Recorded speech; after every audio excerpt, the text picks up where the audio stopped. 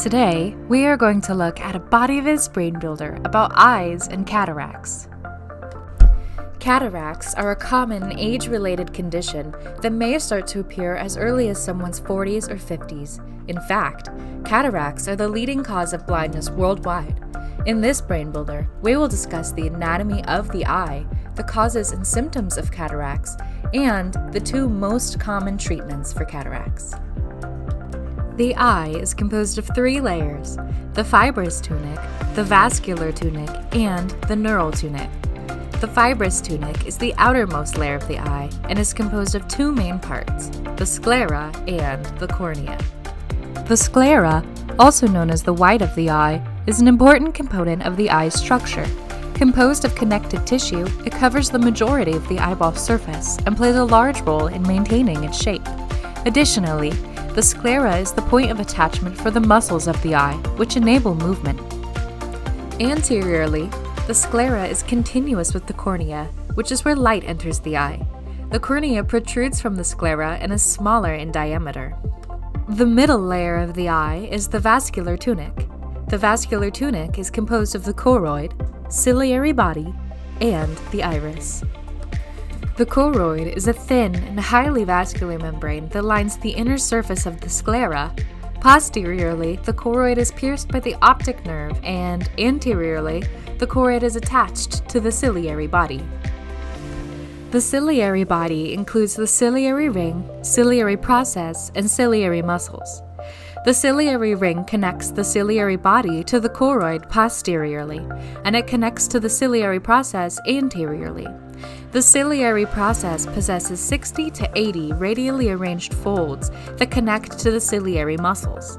The ciliary muscles change the shape of the lens of the eye. The iris is a contractile disc surrounding the pupil of the eye. The pupil dilates and constricts in response to the stimulation of nerve fibers. Dilation of the iris is accomplished by contraction of the radially arranged smooth muscles following sympathetic stimulation. The iris contracts when the circularly arranged smooth muscles contract from parasympathetic stimulation. The retina is made of an outer pigmented layer and an inner nervous layer. This nervous layer has multiple sublayers. Three of these layers are the layer of rods and cones, a layer of bipolar cells, and the layer of ganglion cells, whose axons contribute to the formation of the optic nerve. Three additional structures within the eye are the aqueous humor, the vitreous body, and the lens. The aqueous humor fills the anterior chamber of the eye, which is the space between the cornea and the iris. The vitreous body fills the posterior chamber of the eye, which is the larger space behind the lens. It is a gel like fluid that helps the eye maintain its shape. The lens is a transparent, flexible structure located behind the iris. It plays a vital role in focusing light onto the retina. The shape of the lens is controlled by the ring shaped ciliary muscles, which will contract or relax to change the shape of the lens. Changing the curvature of the lens allows for near and distant vision. A cataract is formed when the proteins within the lens of the eye begin to break down, causing the lens to become cloudy in appearance.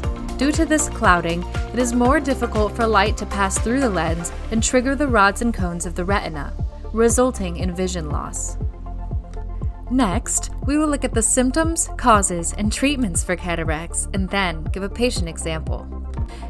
If an individual is developing cataracts, they may experience symptoms such as difficulty seeing in low light, increased sensitivity to bright light, halos around bright lights, needing more light than usual, and seeing bright colors as faded or yellowish in hue. The odds of developing cataracts increase when there is a family history or if an individual has diabetes, smokes, or spent a lot of time in bright sunlight. Cataracts may also develop after an injury to the eye.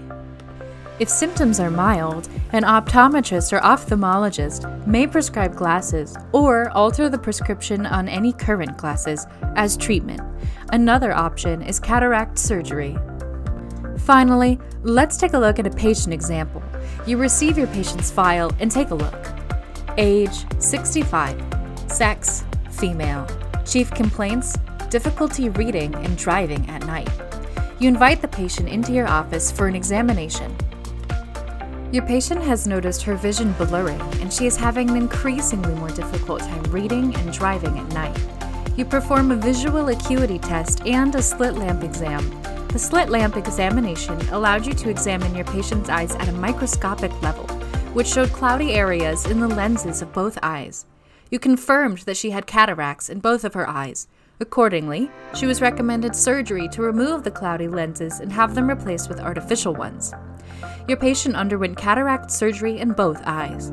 The procedure was successful and she no longer experienced any difficulties reading or driving at night. You also prescribed her eye drops to prevent infection and help with the healing. Additionally, you advised her to wear sunglasses in order to protect her eyes from bright sunlight. This is a classic example of cataracts. Thank you for watching this Brain Builder video.